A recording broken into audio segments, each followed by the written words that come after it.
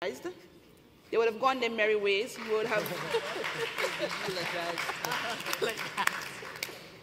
put a plaque in your names and moved on.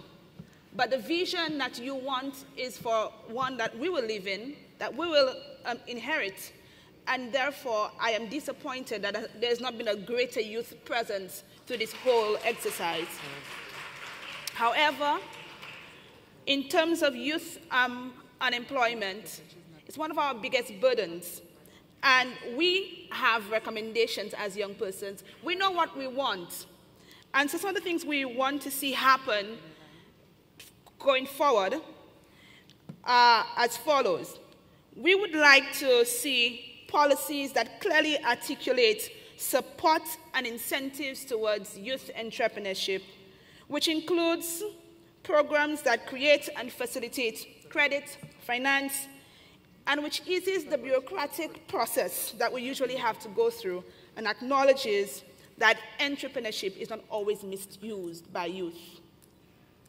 We also want to see internship become a regular thing, something which is not done as a secondary um, um, thought to um, getting points towards your SBAs, but rather something which is paid for, which is covered by social and labor rights, and which, which would one day translate into full employment for young persons. We want also to take the advantage of labor mobility the ability to move across various borders around the region and take full advantage of jobs, take full advantage of every, every meaningful opportunity within the Caribbean region. And we need this to be done in an area where we have access to borders, we can have equal access to all social benefits, and, of course, transfer our pension benefits at the end of the day. We also want to speak of a legal framework that secures a percentage of young people when hiring both in the private and public sector. Too often, the requirements are too heavy for young persons leaving school. And with effective apprenticeship programs, with um, effective internship programs, and a percentage allocated to youth employment, we will see more young persons leaving um, um, schools with, with the prerequisites and being able to be integrated um, into the, the labor force. Of course, for this to happen, we would have to speak of education reform. But I'll save that comment, and I'm hoping as we go along, I'll be able to say a little bit more on that. Thank you so much. Very, thank you very much, Eleanor. I made a commitment to a gentleman. Thank, thank you very much. Yeah. I wanted to make that point from morning. The current economic development model that we are currently embracing produces um, a very large, or basically produces the informalization, informalization of the Caribbean society. We have informalization of the economy, so we have a very large informal economy. The social, informalization of social institutions and construction, informalization of the workplace. How does the panel see the informal economy going forward into 2050 and what sorts of policies and, and, and um, strategies we're going to use to integrate the informal economy into the formal econ economy going forward, because it's an important part of our current development model. Agreed. Thank you so very much. Mr. I, I, Mr. Moderator, I'm here, and there are two people on this side of the room who, from the very beginning on the Q&A, okay. uh, wanted to make an intervention. Thank you. Mm -hmm.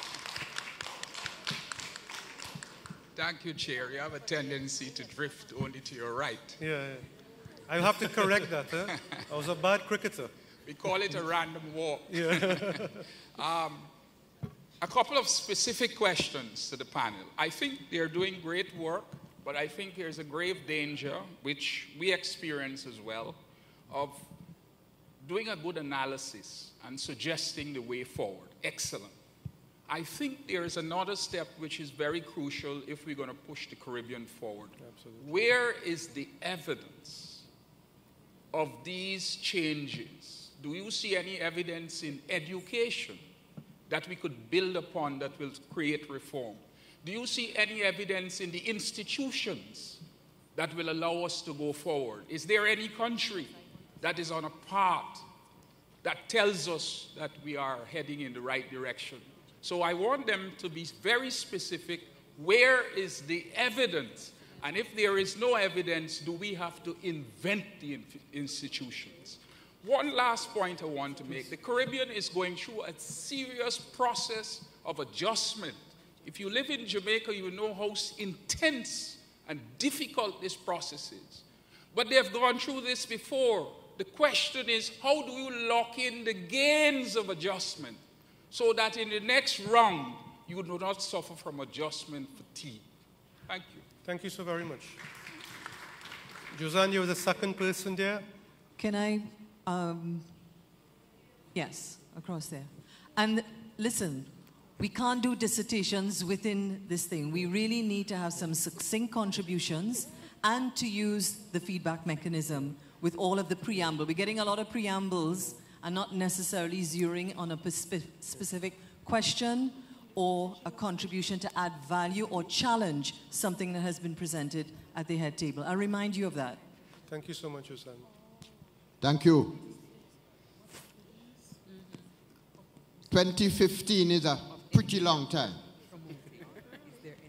But by 2015, I would like to see the Confederation of Latin America and the Caribbean in full throttle. By 2015, I would like to see this region having the highest level of literacy per capita.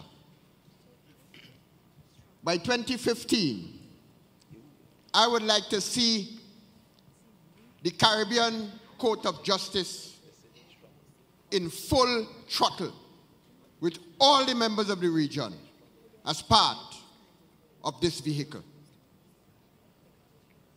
In 2015, I would like to see Cuba playing the role it should have been playing a long time ago in leading the region and to be a significant leader in the South. By 2015, 2050, I would like to see the social, economic, and political system being redesigned or already redesigned to include construct of the two dominant ideologies. Because we have a situation where we are speaking here and I'm getting the impression that we are satisfied with the socio-economic system that we have on political system that we have in place. It has failed. It is an old engine, and we need to recognize that. Thank you very much, sir. Uh, the... Hello. Please. Hi.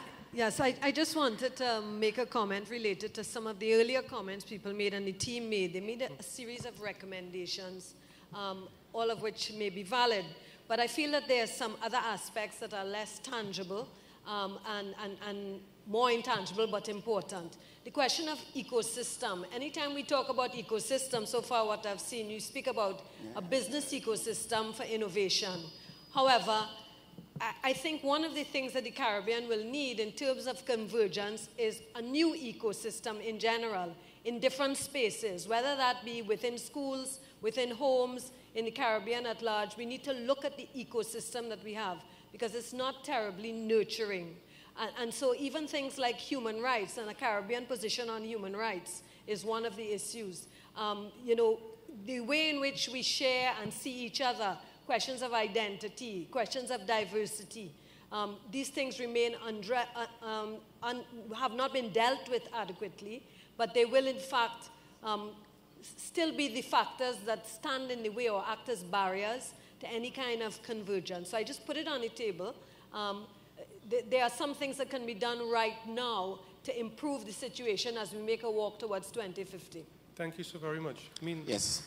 Uh, just, just to quickly respond to that particular issue, when we engaged the consultancy team, it was not for us to come up with a complete picture. It's just not possible.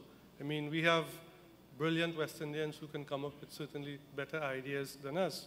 But what we wanted to do was to use this forum to stimulate a conversation on the vision for the region that we would like to see and the region we want.